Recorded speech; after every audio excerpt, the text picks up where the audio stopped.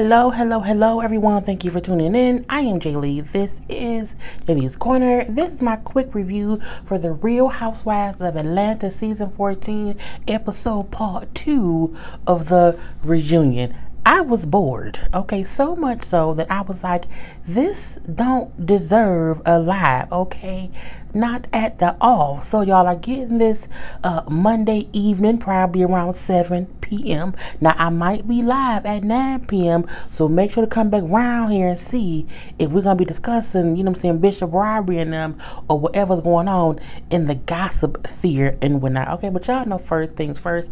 If you have not done so already, please take a moment to subscribe to my channel to become a whole Jaybird, Jaybird, dot dot dot and dot. Okay, do not forget to follow me on social media at Jaylee's Corner on IG and also on Twitter. Okay, do not forget to like this video. Okay, like the video, comment in the comment section. Also, hit the share button. Share me with those who you like or love or who you don't like. I don't know who follow y'all, but share me with whoever that's following you. Okay, and y'all know if you want to know when I'm live, you really should hit that notification bell. Okay, now sometimes it works, sometimes it does not. Okay, but if you following me on IG, you will always know when content is a coming. Okay let's move on to the show. So the reunion starts off with Marlo still up and trying to give us a sob story, a sympathy uh, tapestry uh, quilt of the B of the S. I don't trust Marlo, okay? Her still wanting sympathy because of her past. I ain't falling for it. And again, like I said last time, it does not mean what she went through is not sad. It does not mean the folks who want to give her sympathy should not. I just refuse to give someone sympathy who never wants to be open and honest about what they've been through until they had a full season of foolishness, okay? That they were read every which way about and now they want to give a sob story for attention not on my watch. Even her saying how she wants the women to embrace her how you know Sanya has called her and checked on her and blah blah blah blah blah. Sanya Richards Ross needs you because she ain't got nobody else besides Sheree and we know Sheree ain't nobody either okay? Not nobody like I'm just saying on the show okay?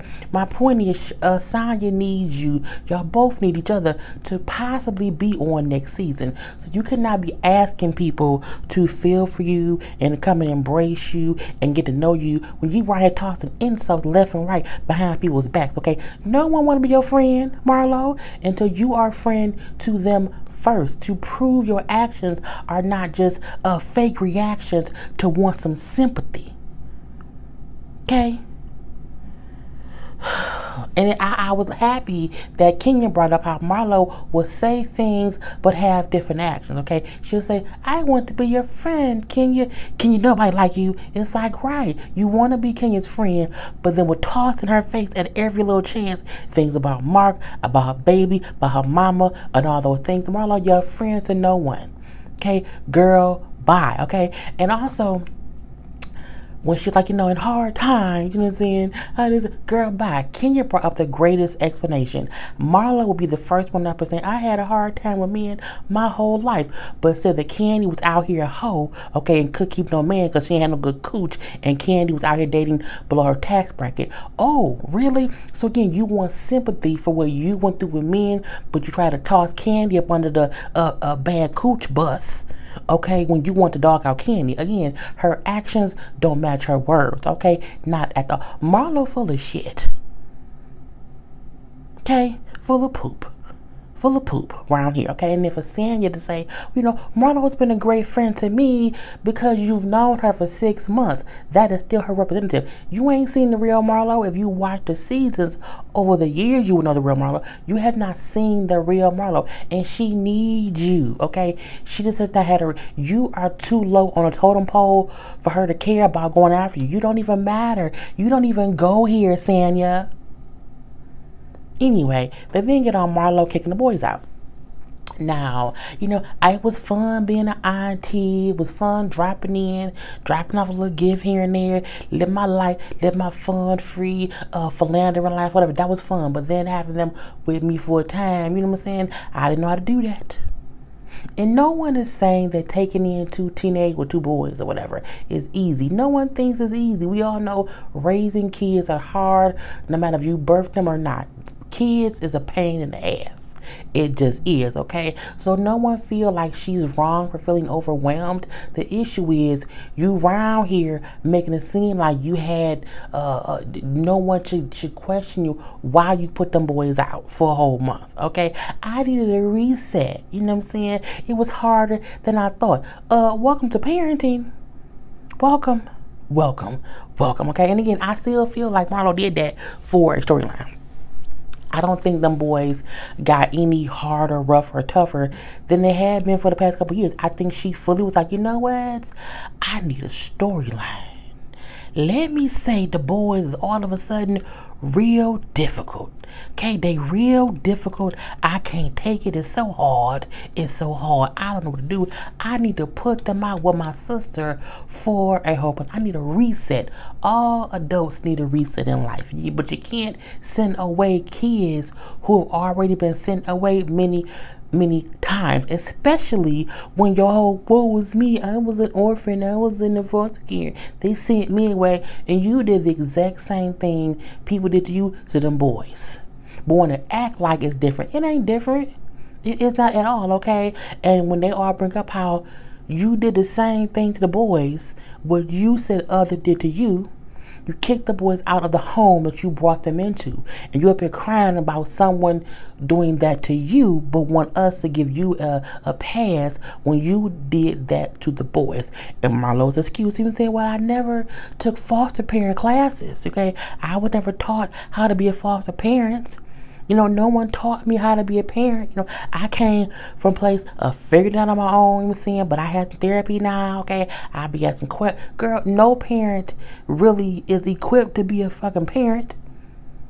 No one. You think no one, no, no one knows more than God, and God the only one who did it before us. Okay, so whatever. And again, I'm not negating how it can be hard and this and that, and she went whatever. My point is, Marlo wants to be an exception to rules that she make for other people. Okay, and I don't like it and she gets on all my damn nerves, okay? Now, they ask her why does she feel like, by they, I mean fans, they ask her why does she feel like the foster girls that we never see her with, okay? Because again, you were on a whole season of a show. You didn't go visit them girls. Now, when you got a whole organization for foster children and you're a foster child yourself and you have two foster boys in your house who are your nephews, you didn't have not one scene of you going to see them foster girls, not one? Okay. Anyway, uh, her and the foster girls that we never see her with, they ask her why did she feel like the foster girls we never see her with uh, deserved to be spoiled. Hence her saying how Kandi should not be donating, you know, her used clothes to the foster girls, okay? But she wanted to humble her nephews to send them to live with her sister who had way less than her, okay? And Marlo said, Well, I don't see the girls as much except around prime time, around Christmas time. But when I do, I feel like they also should be humble too. Well, you should have gave them candy clothes, okay? The way to humble somebody, give them some candy. Giving them, giving the foster girls candy clothes was would be better than you sending your nephews away to live with your sister for a month because you want to do what? To do nothing do nothing. Okay. Now Marlo, for the most part, the whole uh, uh, reunion was playing. You know, woe was me. Kenya was not moved. Okay. Kenya was like, girl. Kenya was like looking around the whole time because Kenya refused to give Marlo any energy. She refused to give Marlo what Marlo was trying to get, which was sympathy from the girls to be liked. And she was like, no, ma'am, not on my watch. And when uh, Kenya then said, oh, That's called damage control. I fully agreed. And Marlo said, It's called evil, bitch. I was like, We know you're evil, bitch, Marlo. Marlo, we know that you are evil, conniving, little something, okay? But Kenya is absolutely right. Marlo, this Hope Union, is doing damage control. That's it. Okay? That's it. Okay? And Kenya, again, all episode was not giving Marlo any energy she wasn't feeding into Marlo's because Marlo I think really wanted a full-on argument moment with Kenya and Kenya barely gave her anything okay? Even Marlo said you know I'm using Kenya's products for my hair to help my edges I'm saying? It really it, it's helped my edges. Kenya said yes I stand by my product. It, it, can help some people but I do stand by my product. It can it can help okay? It can help. Again I'm not engaging with you you can try as you might. You can say all the things you want to say. I'm going to give you the least amount of energy possible, okay? Impossible for a plain country. I'm stop. Anyway uh, Kenya segment. Um, Kenya, you know, Kenya's still not divorced. Okay, her and Mark are still at a standstill in this divorce. Now she said that he, they're not even really fighting for anything. There's just no court date. Like he is just, it's, it's just, it's just a mess. It's sitting around at a standstill for no real reason. Okay, but for her, she don't really care. I'm at a different point in my life. I'm happier. I'm in a better, a better mood all the time or whatever. You know what I'm saying I did Dancing with the Stars, which also was amazing for me and my my ego and my feelings. Okay, it helped me remember my grandmama who's always around for me when I danced when I was younger. Okay, I love you know it was it was great. She got all the emotional, whatever.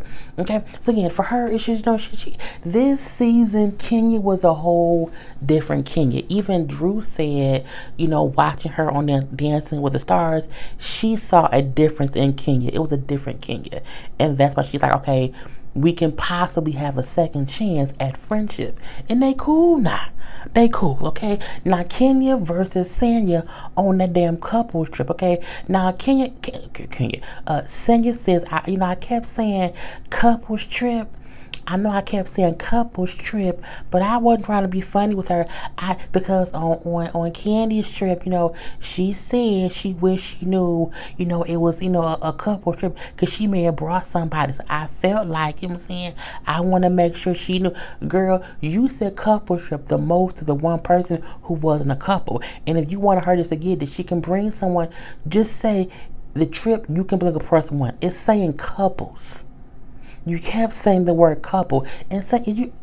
She could be that dumb. I don't know. Okay, she might not know two plus two is four. But my point is, you kept saying couples trip to the one person who wasn't a couple. That was dumb. And Kenya also said, like, I didn't regret hanging up on her. It was what it was. Whatever. Okay.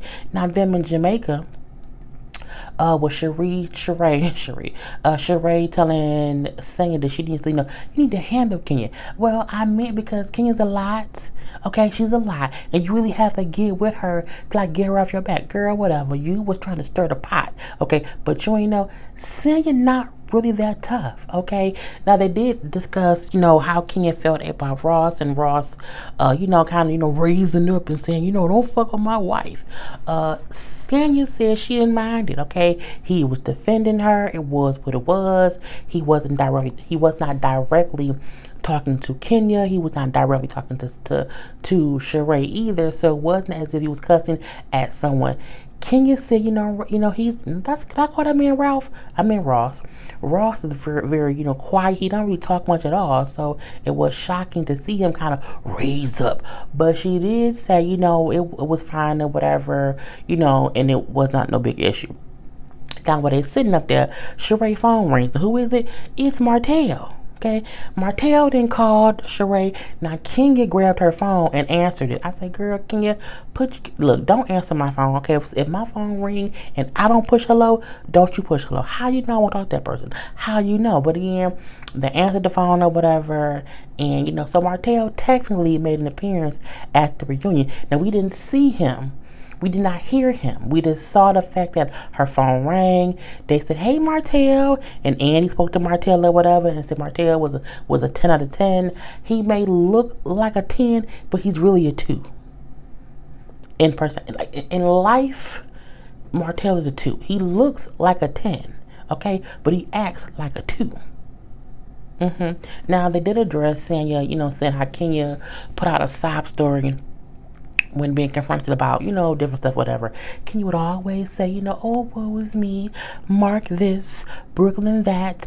And Kenya said, I don't appreciate you taking these one-on-one moments, okay, these one-on-one conversations that you had, and then flipping it to be like it was, you know, saying a sob story. It was not. I was being honest and open about what I was going through. And I would have appreciated if you did not make that out to be something different. Okay, look, I told y'all, um, I don't trust Sanya don't really like her now after the season. We'll see how she do if she come back next season. But this season, it was a no. It was a no. Okay. Now, on Sanya's uh, Sanya's segment, I didn't really care. I was barely listening. Okay, I did hear hear her say that um, doing a show with an ensemble cast with these women, she realized this is different than when, I did it with my family. Okay, because her show came out. It probably was in like 2010. It was a long time. Was a long time ago. But she realized, okay, that show is different than this one. Okay, I'm fully aware of that or whatever. Um, she also brings up how her and Ross are working on baby number two, even though she said, you know, she didn't want no new, no, no new baby. She did not want one, not now, not today. I want to wait. But she said that because Ross realized that maybe she don't want one, and that's okay. Since he realized, okay, maybe we don't have to have one, that made her change her mind and say we can keep trying okay and i said i mean i i guess so now they get on drew who they asked drew during the season about it. Drew was also asked on watch what happens live. Now the way drew said it was problematic. The way she said it made it seem like women have to do what their husbands want.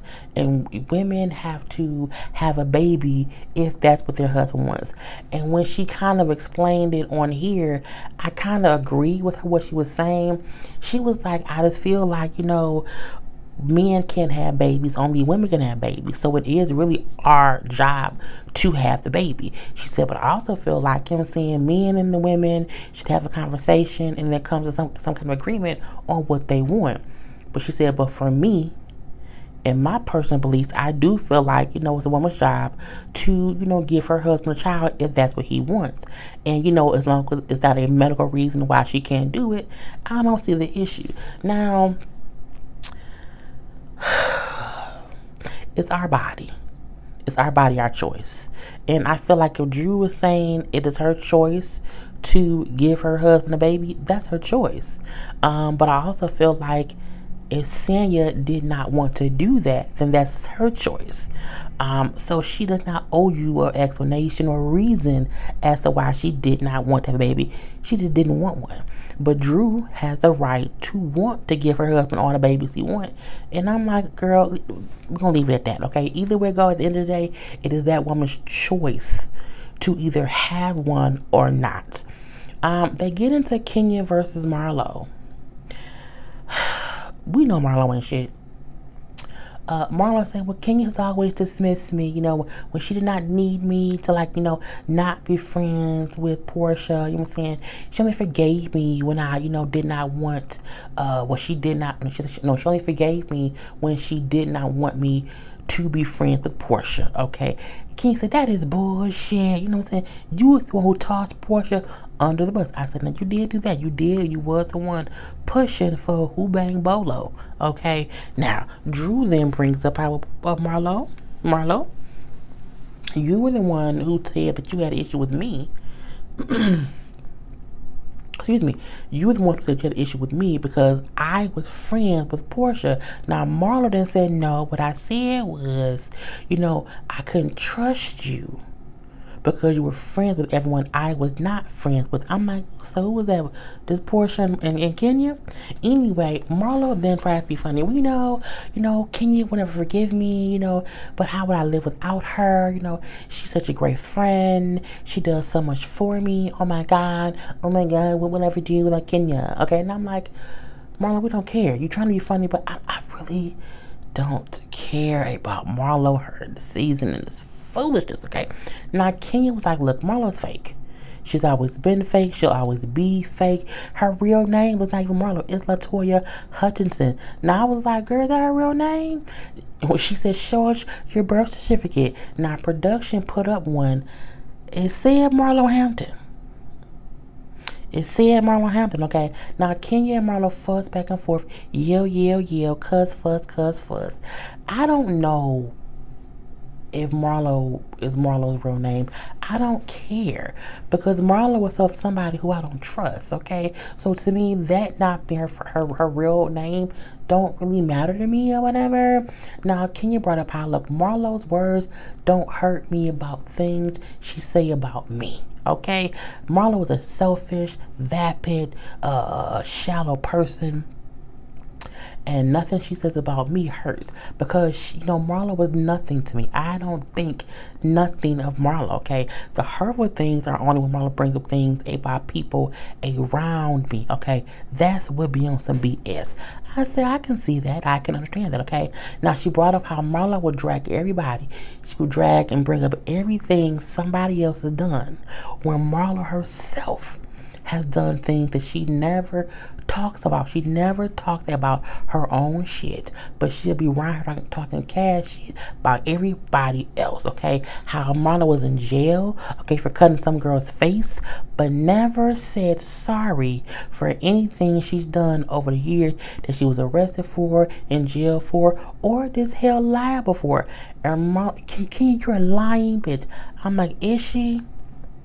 Because when Annie's okay, Annie, Annie, okay, okay, okay, Marlo, after foster care, did you go to jail? And she said, Well, yes, I did. I'm like, But you acting like Kenya was lying. Marlo admits that she did go to jail. She was in county jail for six months after a fight she had with some girl. Hence, Kenya saying you went to jail for cutting someone's face why act like that wasn't true when it sounds like it is, okay? She also brought up I was only in county for six months, and after that, I was on house arrest, and this. So you did. And that's Kenya's point. You around here making it seem as if you don't do nothing, that everyone else around you has some kind of bad trait or whatever, but you the one out there on some bill the S. I was girl, let it know, okay?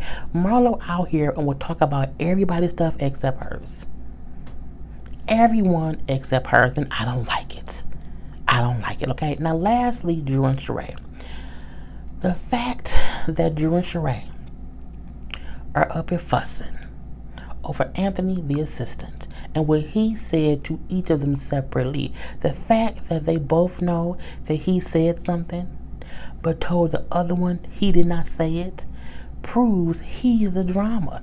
I don't know why y'all still fussing with each other when Anthony is the issue. Now, we've heard for years that Marlo, not Marlo, that Sheree don't pay people. So I was not surprised at all that Anthony said he was her assistant and she would not pay him. Not we seen him say that on camera. Okay, we saw that. We saw him filming with Drew as Drew's assistant, talking about Sheree. Okay?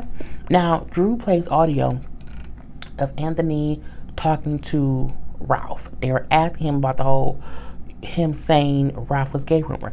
Now he say I didn't say that. You know what I'm saying? She didn't like you, and she said I said it, but I ain't say that. And everybody be always picking up, you know, stuff when when somebody don't like somebody, they always say they gay. That wasn't. So he's denying saying that Ralph was gay to Sheree. So Drew played that audio. Well, Sheree then called him on FaceTime he answered. He then say, Well, I don't remember saying Ralph was gay. I mean, I may have said it though. I don't recall saying it, but what I do know is when and then Sheree said, "Do I? Were you my assistant? Do I owe you money?" He's like, "No, I wasn't your assistant. In my opinion, you know, to be honest, you don't owe me no money." I said, "Not when anyone say to be honest, it means they were lying before." Okay. He then said, But what I do know is I think that Drew needed a storyline and that for it to come this season, I do believe that. I was like, nigga, what? I was happy. I was happy that Andy, okay, all right, bye it, hung up because Drew and Sheree need to team up against Anthony because he played both he played both of y'all and became a topic this season. And I think him saying that at the reunion was so that he can possibly get on next season with probably with Sheree. I was like it was a mess, okay? That was all a part two. I'm done, okay? Do not forget to like the video, comment in the comment section, follow me on social media at Jaylee's Corner, and do not forget to subscribe to my channel. Gotta go. Peace.